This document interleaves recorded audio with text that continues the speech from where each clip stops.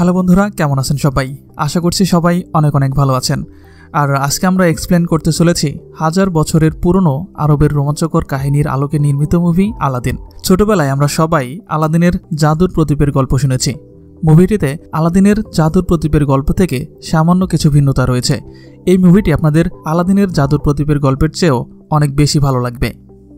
সিনেমার শুরুতে দেখা যায় একজন লোক জাহাজে দুটো বাচ্চাকে আলাদিন এবং আলাদিনের জাদুর প্রদীপের গল্প শোনাচ্ছে। এরপরেই দেখা যায় এগ্রাবা রাজ্য, যেখানে একজন লোক দেখা যায়, যার নাম আলাদিন, যে একজন পাক্কা চোর। তার সাথে থাকা বানরটির নাম আবু এবং সেও একজন চোর। কিন্তু আলাদিন চোর হলেও সে তার চুরির পয়সা দিয়ে ছোট ছোট বাচ্চাদের খাবার খাওয়াতো এবং সে তার চুরির সব টাকা পয়সা ভালো কাজে লাগাতো। কারণ আলাদিন চোর হলেও সে একজন ভালো মনের মানুষ। এরপরেই একটি মেয়েকে দুটি ক্ষুধার্ত বাচ্চাকে একটি দোকান থেকে রুটি দিতে দেখা যায়। কিন্তু মেয়েটির কাছে কোনো টাকা ছিল না। তাই দোকানদার তার হাত থেকে ব্রেসলেটটি জোর করে নেবার চেষ্টা করছিল। আর তখনই সেখানে আলাদিন এসে হাজির হয়। এরপরে আলাদিন মেয়েটির হাত থেকে ব্রেসলেটটি দোকানদারকে দিয়ে মেয়েটিকে নিয়ে সেখান থেকে চলে আসে। কিন্তু পাক্কা চোর আলাদিন দোকানদারকে বোকা বানিয়ে ব্রেসলেটটিও সাথে সাথে চুরি করে নিয়ে আসে। এরপর দোকানদার যখন বুঝতে পারে যে আলাদিন তাকে বোকা বানিয়ে ব্রেসলেট নিয়ে চলে গেছে, তখন তার সব লোক আলাদিনকে ধরার জন্য লাগিয়ে দেয়। কিন্তু আলাদিন যেমন পাক্কা চোর তেমনই যে কোনো জায়গা থেকে পালানোর স্কেল তার খুব ভালো মতোই জানা আছে। আলাদিন সেখান থেকে পালিয়ে মেয়েটিকে তার বাসায় নিয়ে আসে। এরপর মেয়েটি আলাদিনকে বলে যে তার নাম ডালিয়া এবং আলাদিন বলে সে তার বানর আবুর সাথে থাকে। আর ছোটবেলায় তার বাবা মা দুজনেই মারা যায়, তাই সে এই দুনিয়ায় একদমই একা। এরপর আলাদিন তার হাতের ব্রেসলেটটা দেখে বলে যে, তুমি নিশ্চয়ই কোনো রাজ্যের রাজকুমারী হবে। কিন্তু তখনই সেখানকার জানালা দিয়ে কিছু নৌকা আসতে দেখা যায়, আর তখন মেয়েটি বলে যে, তার এখন যেতে হবে। আর যেতে যেতে একসময় মেয়েটি তার হাতের ব্রেসলেটটি আলাদিনকে দিতে বলে। কিন্তু আলাদিন ইচ্ছা করে সেই ব্রেসলেটটি হারানোর ভান ধরে, যাতে করে ব্রেসলেটের বাহানায় তার সাথে আবার দেখা করতে পারে। কিন্তু মেয়েটি আলাদিনের কথা বিশ্বাস করে না এবং মেয়েটি আলাদিনকে বলে, তুমি একটা চোর। এরপরেই দেখা যায় রাজ্যের মন্ত্রীর ক্যারেক্টার, যার নাম জাফর। আর সে এই রাজ্যের রাজা হতে চায়। আর এই রাজ্যের রাজা হতে তার দরকার একটি জাদুর প্রদীপ, যা একটি জাদুর গুহার ভেতরে আছে। কিন্তু সেই গুহায় সেই যেতে পারবে যে সত্যিকারের একজন ভালো মানুষ, যার মনে মানুষের জন্য দয়া মায়া আছে। কিন্তু এই জাফরের ভেতর সেরকম কোনো কোয়ালিটি নেই, কারণ সে ছিল খুবই লোভী। আর এই কারণেই জাফর এমন একজন লোক খুঁজছে, যার মধ্যে গুহায় প্রবেশ করার সবগুলো কোয়ালিটিস রয়েছে। এরপরেই দেখা যায় আরবের একজন প্রিন্স বিবাহের প্রস্তাব নিয়ে মহলে প্রবেশ করছে।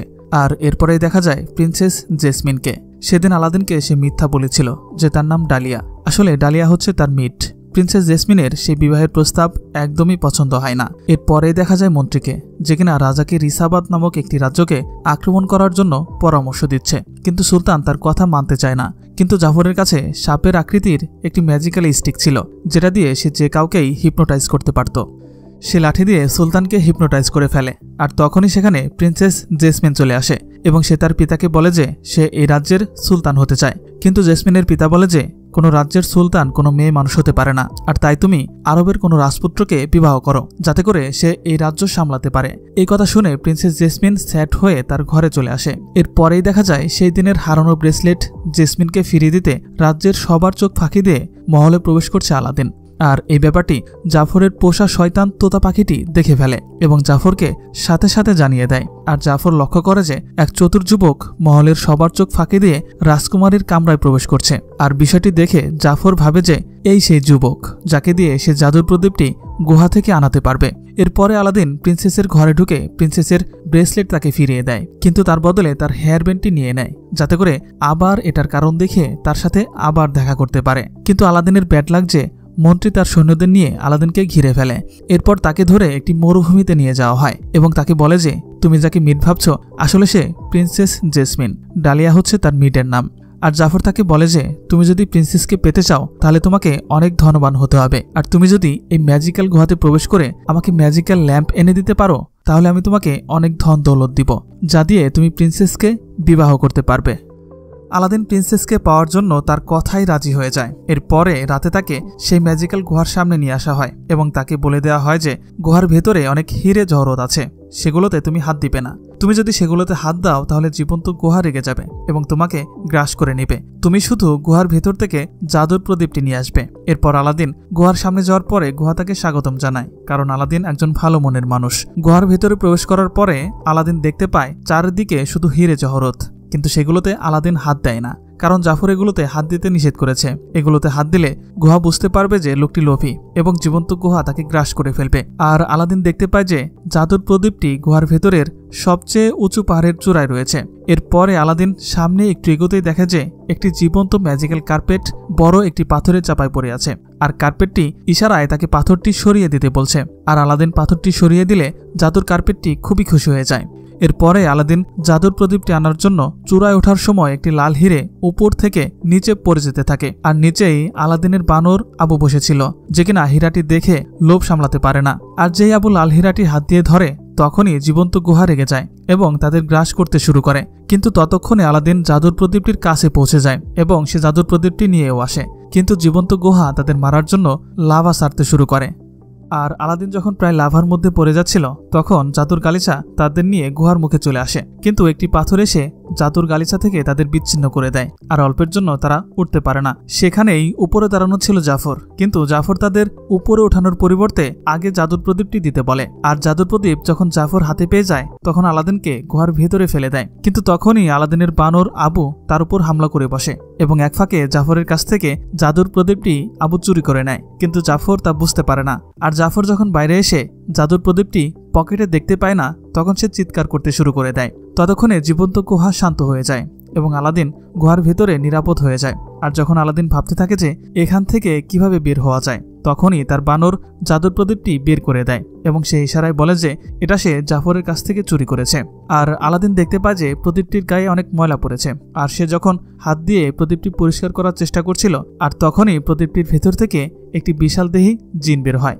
যে কিনা এক হাজার বছর ধরে এই প্রদীপের ভেতর বন্দি অবস্থায় ছিল। আর জিনটি মুক্তি পেয়ে খুবই খুশি হয়ে যায় এবং আলাদিনকে বলে যে, আমি তোমার তিনটি ইচ্ছা পূরণ করব। বলো, তোমার তিনটি ইচ্ছা কি কি? তখন আলাদিন বলে যে, আমার প্রথম ইচ্ছা আমাকে এই গুহা থেকে বাইরে বের করে নিয়ে চলো। বলার সাথে সাথে তাকে বাইরে বের করে নিয়ে আসে। এরপরে আলাদিন জিনকে বলে যে আচ্ছা তুমি তো আমার ইচ্ছা পূরণ করেছ। আচ্ছা বলো তো, তোমার ইচ্ছা কি?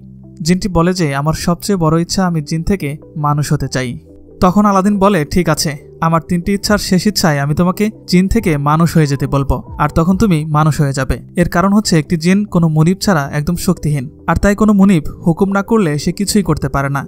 জিন বলে যে, তোমার আর দুটি ইচ্ছা বাকি আছে, তিনটি নয়। কারণ তোমার একটি ইচ্ছা অলরেডি পূরণ হয়ে গেছে। তখন আলাদিন বলে যে, তুমি প্রথমবার যে ইচ্ছা পূরণ করেছ তখন তো আমি প্রদীপটি ইচ্ছা করে ঘষে তোমাকে বাইরে বের করে নিই। তাই প্রথম উইশ কাউন্ট হবে না। তখন জিন বলে আচ্ছা ঠিক আছে। তাহলে তোমার প্রথম ইচ্ছা কি বলো? তখন আলাদিন বলে যে, আমার প্রথম ইচ্ছা আমাকে রাজা বানিয়ে দাও। যাতে করে আমি রাজকুমারী জেসমিনকে বিয়ে করতে পারি। আর সাথে সাথেই আলাদিনকে রাজা বানিয়ে দেয়। আর তার বানর আবুকে হাতি বানিয়ে দেয়। এরপরে আলাদিন এবং তার জিন অনেক লোকজন নিয়ে প্রিন্সেস জেসমিনের রাজ্যে প্রবেশ করে। আর তখন আলাদিনের নাম হয় প্রিন্স আলী। কিন্তু প্রিন্স আলীর পরিচয় দেওয়া আলাদিন তো আসলে একটা চোর। তাই জেসমিনের বাবার কাছে জিনের সাহায্যে ঠিকঠাক মতো কথা বলতে পারে। কিন্তু প্রিন্সেস জেসমিন তার কথায় নারাজ হয়ে সেখান থেকে চলে যায় আর সুলতান তাকে রাতের পার্টিতে নিমন্ত্রণ জানায়। আর তখনই জাফর তার বিশেষ লাঠি দ্বারা আলাদিনকে হিপনোটাইজ করার চেষ্টা করে আর তখনই তার জিন এসে তাকে বাঁচিয়ে নেয়। এরপরে জিন বলে যে, যাও, তুমি এখন গিয়ে প্রিন্সেসকে ইমপ্রেস করার চেষ্টা করো। তখন আলাদিন ড্যান্স করে প্রিন্সেসকে ইমপ্রেস করার চেষ্টা করে। কিন্তু প্রিন্সেস কিছুই না বলে সেখান থেকে চলে যায়। আলাদিন যখন একটু হতাশ হয়ে যায়, তখন জিন বলে যে, যাও, তুমি গিয়ে প্রিন্সেসের ঘরে গিয়ে তার সাথে কথা বলার চেষ্টা করো। আর জিন তখন প্রিন্সেস জেসমিনের মিট ডালিয়াকে সাথে নিয়ে সরে যায়, যাতে আলাদিন প্রিন্সেস জেসমিনের সাথে কথা বলার সুযোগ পায়। এরপরে জেসমিন আলাদিন মানে প্রিন্স আলীকে অনেক প্রশ্ন করে এবং এগুলোর উত্তর দিতে জিন আলাদিনকে সাহায্য করে। এরপরে প্রিন্সেসকে নিয়ে জাদুর গালিচাই করে রাতে ঘুরতে বের হয় এবং তাকে সারা শহর ঘুরিয়ে দেখায় এবং তারা দুজনে অসাধারণ একটি রোমান্টিক সময় পার করে। তখন প্রিন্সেস জেসমিনকে আলাদিন একটু মিথ্যা বলে যে আলাদিন আগে থেকেই রাজা ছিল, কিন্তু তার প্রজাদের খোঁজখবর নেওয়ার জন্য মহল্লায় গরিব সেজে গিয়েছিল। আসলে তিনি প্রিন্স আলী, আর জেসমিন তাই বিশ্বাস করে। যদিও এটা আলাদিনের মিথ্যা কথা ছিল জেসমিনকে পাওয়ার জন্য। আর এসব কিছুই জাফরের তোতা পাখিটি দেখে ফেলে, এবং সে গিয়ে জাফরকে সব কথা বলে দেয়, এবং বলে যে সে আসলে চোর আলাদিন, প্রিন্স আলী নয়। এরপরে জাফর তাকে চেয়ারের সাথে বেঁধে সে জাদুর প্রদীপটি দিতে বলে, আর না দিলে তাকে সমুদ্রে ফেলে দেওয়ার হুমকি দেয়। কিন্তু সেই সময় আলাদিন বলে যে তার কাছে জাদুর প্রদীপটি নেই। তখন জাফর তাকে পানিতে ফেলে দেয় আর আলাদিনের হাত পা বাঁধা থাকার কারণে সে পানির নিচে অজ্ঞান হয়ে যায়। আর তখন তার বানর আবু জাদুর কালিচাই করে এসে পানিতে সেই জাদুর প্রদীপটি ছেড়ে দেয় আর সৌভাগ্যবশত কোনোভাবে তার হাত প্রদীপের সাথে ঘষা লেগে যায় আর জিন বাইরে বেরিয়ে আসে এবং তাকে তার ইচ্ছার কথা জানাতে বলে। কিন্তু আলাদিন বেহুশ হবার কারণে সে কোনো ইচ্ছার কথা জানাতে পারে না। কিন্তু জিন নিজে তার দ্বিতীয় ইচ্ছা ব্যবহার করে আলাদিনকে বাঁচিয়ে দেয়। এরপরে আলাদিন প্রিন্সেস জেসমিনকে জাফরের কুকীর্তির কথা খুলে বলে আর সুলতানের কাছে গিয়ে নালিশ করতে গেলে জাফর সুলতানকে পুনরায় হিপনোটাইজ করার চেষ্টা করে। কিন্তু তখন আলাদিন সে জাফরের জাদুর লাঠিটি ভেঙে ফেলে আর সুলতানের হুশ ফিরে আসে। তখন জাফরকে বন্দি করতে বলে। আর যখন জাফরকে বন্দি করা হয়, তখন জাফরের তোতা পাখি, যার নাম ইয়াকু সে গিয়ে জাফরকে সেই কয়েদখানার চাবি দিয়ে আসে, যার কারণে জাফর সেখান থেকে মুক্ত হয়ে যায়। এদিকে সুলতান আলাদিনের উপর খুশি হয়ে যায় এবং তার মেয়ে জেসমিনকে তার সাথে বিয়ে দিতে রাজি হয়ে যায়। কিন্তু তখন আলাদিন তার জিনকে বলে যে, আমি মনে হয় তোমার মানুষ হওয়ার শেষ ইচ্ছা পূরণ করতে পারব না। কারণ তুমি যদি মানুষ হয়ে যাও, তাহলে আমি আর রাজার সাজে থাকতে পারব না। তাই আমি তোমাকে মানুষ বানাতে পারব না। তখন জিন খুবই কষ্ট পায়। কারণ সে মানুষ হতে পারবে না। তাই সে রাগ করে প্রদীপের ভেতর ঢুকে যায় আর আলাদিন তার গ্রামে চলে আসে। আর আসার সময় তার পকেট থেকে জাফর সে জাদুর প্রদীপটি চুরি করে নিয়ে যায়। আর যখন ঘরে এসে জিনের কথাগুলো ভাবছিল, তখন আলাদিন বুঝতে পারে যে জিন ঠিকই বলেছে। আমার প্রিন্সেসকে সব সত্যি কথা বলে দেওয়া দরকার। আর কথাগুলো ভাবতে ভাবতে যখন প্রদীপের কাছে আসে দেখতে পায় যে এখানে তো সেই জাদুর প্রদীপটি নেই। কারণ জাদুর প্রদীপটি আগে জাফর নিয়ে গেছে। আর জাফর প্রদীপটি হাতে পেয়েই তাড়াতাড়ি জিনকে হাজির করে এবং তার প্রথম ইচ্ছাতেই সে বলে, তাকে এই রাজ্যের রাজা বানিয়ে দাও। তখন বাধ্য হয়ে জিন তাকে রাজ্যের রাজা বানিয়ে দেয় এবং সাথে সাথে জাফর বলে, আমি এখন থেকে তোমাদের রাজা। আমি যা বলব তোমাদের তাই করতে হবে। সুলতানের বিশ্বস্ত সেনাপতিকে প্রিন্সেস জেসমিন যখন বলে এই জাফর একজন স্বার্থপর, তোমরা তার সঙ্গ দিও না। তখনই জাফর সে জিনকে তার দ্বিতীয় ইচ্ছার কথা বলে, যে আমাকে পৃথিবীর সবচেয়ে বড় জাদুকর বানিয়ে দাও। সাথে সাথে দুষ্ট জাফর জাদুকর হয়ে যায়, আর জাদুকর হওয়ার সাথে সাথে প্রিন্সেসের বাঘসহ সবাইকে বন্দি জাদু দিয়ে বন্দি করে ফেলে। তখন আলাদিন এসে সেই প্রদীপটি নিতে গেলে জাফরের জাদুর কারণে ধরতে পারে না, এবং সবার সামনে বলে দেয় যে, আলাদিন কোনো প্রিন্স না, সে একজন গরিব সাধারণ ব্যক্তি। এই যিনি তাকে রাজা বানিয়েছিল। তখনই আলাদিনকে সাজা দেওয়ার জন্য জাদু দিয়ে একটি বরফের দেশে পাঠিয়ে দেওয়া হয়। আর তখন জাফর প্রিন্সেসকে তাকে বিয়ে করতে বলে। তা না হলে তার পিতা এবং ডালিয়াকে সে মেরে ফেলবে। তখন জিন চালাকি করে জাদুর গালিচাকে আলাদিনের সাহায্যের জন্য পাঠিয়ে দেয়। আর প্রিন্সেসের সাথে যখন জাফরের বিয়ে হতে যায়, তখন দূর থেকে দেখা যায় আলাদিন জাদুর গালিচাই করে আসছে। আর তখনই জাফরের কোমর থেকে প্রিন্সেস জেসমিন সে জাদুর প্রদীপটি নিয়ে জাদুর গালিচায় লাভ দেয়। আর এটা দেখে জাফর অনেক রেগে যায় এবং তার তোতা পাখিকে জাদু দিয়ে একটি জায়ান্ট তোতা পাখিতে রূপান্তর করে আলাদিন এবং প্রিন্সেসকে ধরার জন্য পাঠিয়ে দেয়। তোতা পাখিটি আলাদিনের জাদুর প্রদীপটি নিয়ে নেয়, কিন্তু প্রিন্সেসের পিতা জাফরের লাঠিটি ফেলে দেয় এবং সাথে সাথে তোতা পাখিটি ছোট হয়ে যায় এবং আবু তার কাছ থেকে জাদুর প্রদীপটি কেড়ে নিয়ে নেয়। কিন্তু জাফর জাদু শক্তি দিয়ে আলাদিন এবং প্রিন্সেসকে ধরে ফেলে।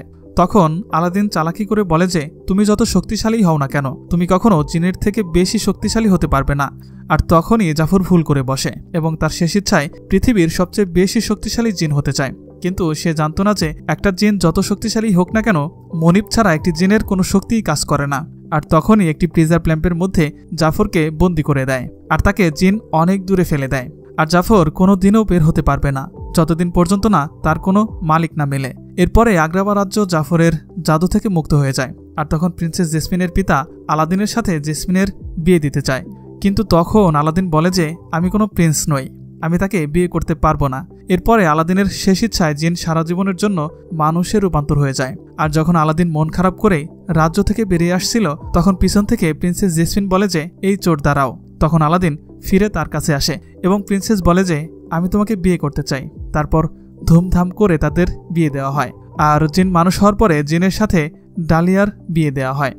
আর শেষে আলাদিন আগ্রাওয়া রাজ্যের সুলতান হয়ে যায়। বন্ধুরা, আজকের ভিডিওটি এ পর্যন্তই। ভিডিওটি ভালো লাগলে একটা লাইক দিতে পারেন। আর এই ধরনেরই মজার মজার সব ভিডিও দেখতে আমাদের চ্যানেলটি সাবস্ক্রাইব করে রাখতে পারেন। ভালো থাকবেন সবাই। আল্লাহ হাফেজ।